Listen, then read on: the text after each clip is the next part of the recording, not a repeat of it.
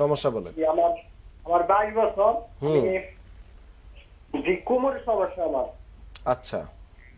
আমি এমআরআই করেছিলাম ও কিডনির একটা এক্সরে করেছিলাম ও আপনার প্রস্তাবের ও দর্শকের প্রশ্নের উত্তরটি দিব একটা বিরতি থেকে ফিরে। আচ্ছা। বাইশ বছর বয়স কোমরের ডিক্সের প্রবলেম উনি কিন্তু গ্যারেজে কাজ করতো এক সময় এখন আর কাজ করতে পারে না। দেখেন বাইশ বছর বয়স এখন কিন্তু ডিক্সের প্র- প্র- সমস্যা হওয়ার কথা না। কিন্তু হয়েছে। আর মূল কারণ ওই যে গ্যারেজে কাজ। মানে একটা ছেলে এই বয়সে গ্যারেজে কাজ করার জন্য তার যে ট্রেনিং প্রয়োজন তার যে কীভাবে কাজটা করতে হবে। তার যে ফিটনেসের প্রয়োজন সেটা কিন্তু সে জানে না।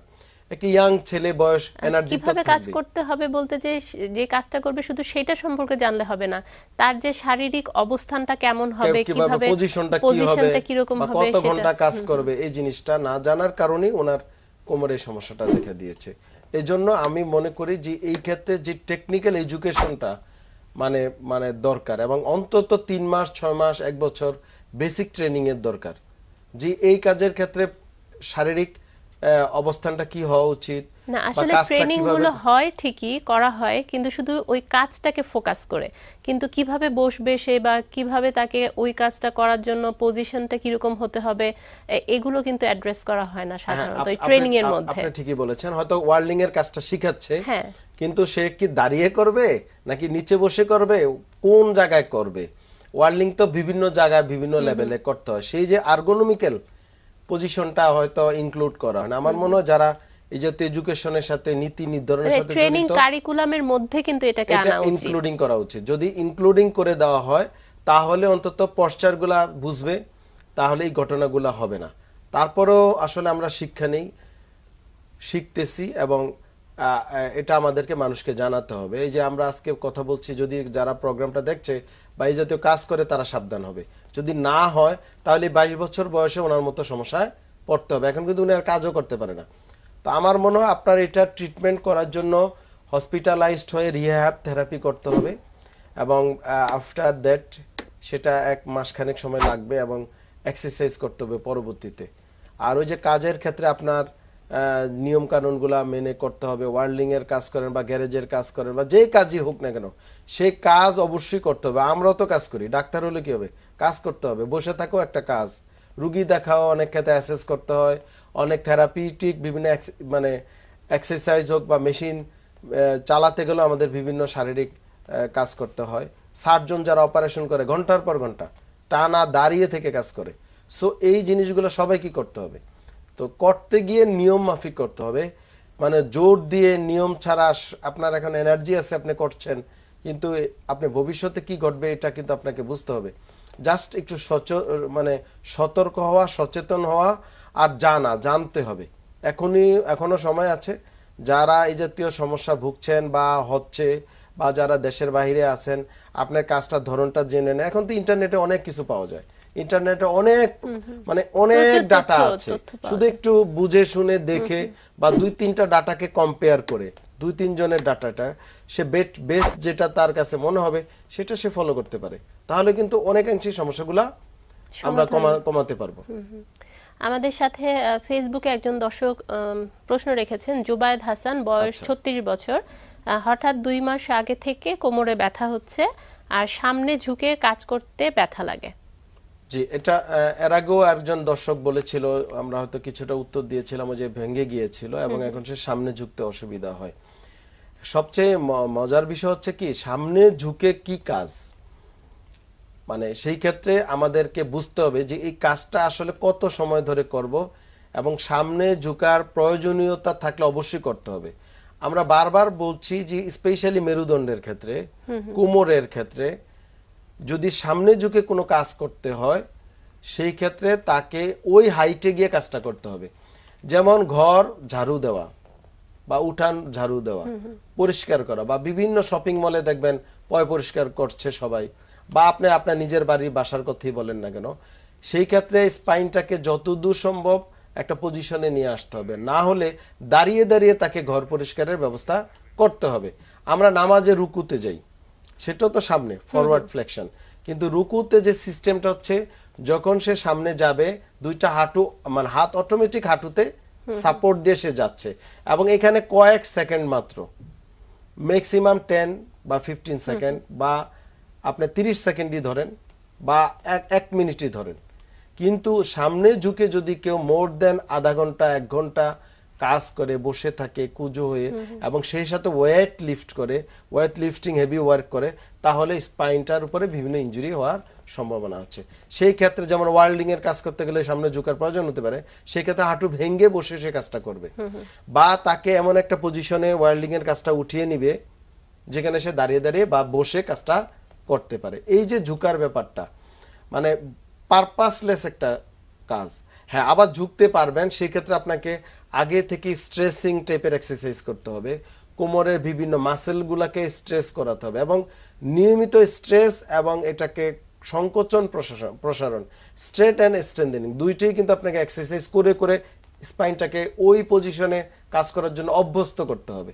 সে হয়তো কোনো দিনই এ কাজ করে নাই কোনো দিনই সামনে ঝুঁকা কাজের অভ্যস্ত না। হঠাৎ করে সে ভারী কিছু ক্যারি করা শুরু করল। ভারী একটা কাজ শুরু করল। বিদেশ গিয়ে- গিয়েছে। গিয়ে সে ভারী শপিং মলে কাজ করছে বা লেভারের কাজ করছে। সেই ক্ষেত্রে তখন ইনজুরি গুলা তৈরি হয়ে যায়। হবে। আমাদের সাথে আরও একজন দর্শক অপেক্ষা আচ্ছা। হ্যালো আসসালামু আলাইকুম দর্শক। কে বলছেন? কোথা থেকে বলছেন? আমি মোহাম্মদ তামাক নারায়ণগঞ্জ থেকে। জি। জি। আমি নারায়ণগঞ্জ জি দর্শক আপনার সমস্যার কথা বলুন। আমার হাঁটুতে বিষ ফসল উঠতে পারি না। আরে অনেক বিষ হাঁটুই হাঁটুতে। বয়স কত? আমার বয়স চল্লিশ ছিচল্লিশ? আচ্ছা হাঁটু কি ফুলে যায়? হ্যাঁ ভুলে যায়। কাজ কাম ফুলে যায় বাড়ির কাজ ফুলে যায়। আচ্ছা জি ধন্যবাদ। আমি উত্তর দিচ্ছি হাঁটু ছিচল্লিশ বছর বয়স হাঁটু ফুলে যায়। এটা সাধারণত অস্ট্রিওআথ্রাইটিসে হয়ে থাকে একেবারে কমন। অস্ট্রিওআথ্রাইটিস সাধারণত পুরুষের চল্লিশ পঁয়তাল্লিশ বা পঞ্চাশের উপরে গেলে দেখা দিতে পারে। সেই ক্ষেত্রে প্রাইমারি স্টেজে যখন আথরাইটিসটা ডেভেলপ করে তখন কিন্তু ওখানে এক্সুডেট আসতে পারে। ইনফ্লামেটরি এক্সুডেট বা এন্ড প্রোডাক্ট বলি আমরা। সেই ক্ষেত্রে সেখানে ফুলে যেতে পারে সোয়েলিং হতে পারে এবং এই সোয়েলিং পরিমাণটা একটু কম হ্যাঁ? বাট অন্য কোনো আর্থ্রাইটিস বা কোনো ইনফেকশিয়াস আর্থ্রাইটিস বা কোনো আঘাতপ্রাপ্ত জোড়ায় কিন্তু হেভি সোয়েলিং হয়ে যেতে পারে। আমরা অনেক বেশি ফুলে যায় অনেক অনেক বেশি ফুলে যেতে পারে। আমরা সেক্ষেত্রে মানে এসিমেট্রিক্যাল ফুলে যাওয়া। মানে এক জোড়া অনেক বেশি ফুলে গিয়েছে আরেকটার কিছু হয় নাই বা একটা বেশি কম এটা হবে। আর আর্থ্রাইটিস স্পেশালি বয়সজনিত যেটা বা ডিজেনারেটিভের ক্ষেত্রে দুইটাই সমান ফুলতে পারে বা হালকা ফুলতে পারে। অনেক সময় আঘাত পেলে সেটা হতে পারে। তারপরে হচ্ছে টিউবারকুলোসিস টিবি যদি টিবি আর্থ্রাইটিস হয় বা হাঁটুতে হয় তা থেকে ফুলে যেতে পারে। তো আপনার এটা মনে হচ্ছে প্রাইমারি অস্টিও আপনি এই ক্ষেত্রে হাঁটুর একটা এক্সারসাইজ আছে, যেটা আমরা বলি স্টেটিক এক্সারসাইজ মানে হাঁটুর নিচে আপনি একটা টাওয়াল বা ছোট বাচ্চাদের বালিশের মতো কিছু একটা গোল করে পেঁচিয়ে দুই তিন ইঞ্চি মোটা হাঁটুর নিচে নিয়ে আর শুয়ে শুয়ে চাপ দেওয়া। দেখবেন আমার ইউটিউব চ্যানেলে দেওয়া আছে ওই এক্সারসাইজটা করেন।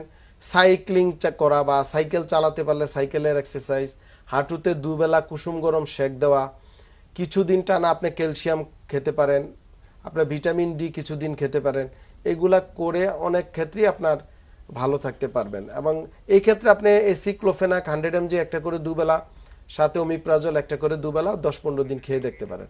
তারপরেও যদি সমাধান না হয়, অবশ্যই আপনাকে কোনো বাত ব্যথা বা ডিসেবিলিটি বা যারা পুনর্বাসন থেরাপি চিকিৎসা করে থাকে, তাদের শরণাপন্ন হতে হবে। আমাদের সাথে আরও একজন দর্শক সংযুক্ত হয়েছেন। হ্যালো আসসালামু আলাইকুম দর্শক কে বলছেন কোথা থেকে বলছেন? শিবচর থেকে বলছি ইউসুফ। জি। বয়স সাতাইশ। আচ্ছা। স্যারের সাথে কথা বলতে। আমরা সবাই শুনতে পাচ্ছি। জি, হ্যাঁ স্যার আমি সকালবেলা মানে ঘুম থেকে উঠলে হুম। মানে পাড়া দিলে পার গোড়ালি ব্যথা করে। হুম। একটু হাঁটাচলা করলে মানে থাকে না। কয়দিন ধরে? এটা অনেক দিন প্রায় ছয় মাস এক বছর। কি করেন আপনি? আমি স্টুডেন্ট পড়ালেখা করি। আচ্ছা জুতা বা- পায়ে যে জুতা সবসময় পায়ে দেন সেটা কি শক্ত জুতার তলাটা মানে সোলটা? এখন পরি এটা সফট কিন্তু ওই যে শক্ত। জুতা পড়তে পারি না। শক্ত জুতা পরলে হাঁটাচলা করলে পা ব্যথা করে। আচ্ছা আর বাসায় কি খালি পায়ে হাঁটেন? না বাসায় এখন এই ব্যথার কারণে ওই স্যান্ডেল পায়ে দিয়ে হাঁটি। আচ্ছা কোথায় থাকেন আপনি? শিবচর। শিবচর মাদারীপুর? হ্যাঁ হ্যাঁ আমাদের আচ্ছা ধন্যবাদ আপনাকে। উনি কিন্তু উনার মানে চিকিৎসা অলরেডি উত্তর দিয়ে দিয়েছে নিজেই। যে উনি শক্ত জুতা পায়ে দিতে পারে না দিলে ব্যথা করে খালি পায়ে হাঁটতে পারে না মানে হাঁটলে ব্যথা করে। এবং আস্তে আস্তে যখন হাঁটে আস্তে আস্তে ব্যথাটা কমে আসে। এখন জুতা কারেকশন করেছে। আপনি অলরেডি চিকিৎসার এইটটি পার্সেন্ট করে ফেলেছেন। যে জুতা কারেকশন শুধু আপনি না আপনার মতো যত লোক পৃথিবীতে আছে আমাকে নিজেকেও নরম জুতা পায়ে দিতে হবে।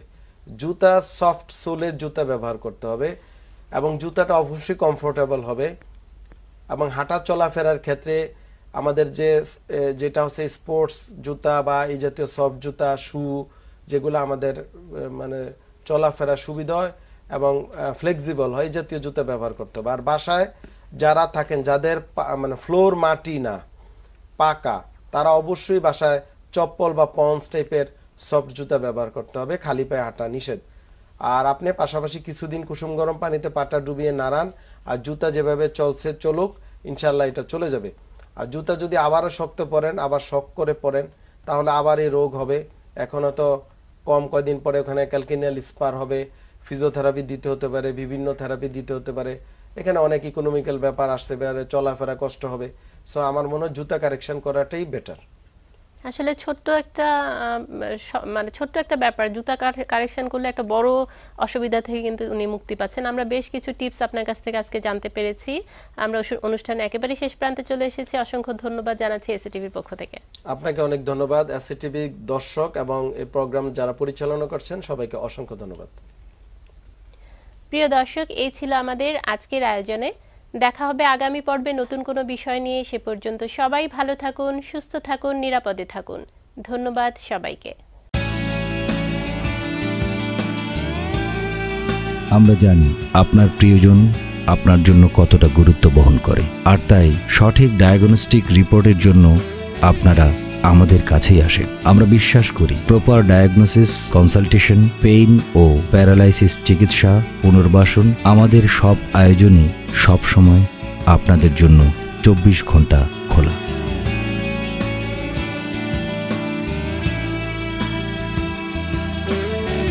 নির্ভুল রিপোর্ট অতি দ্রুত সময়ে আমরাই দিয়ে থাকি।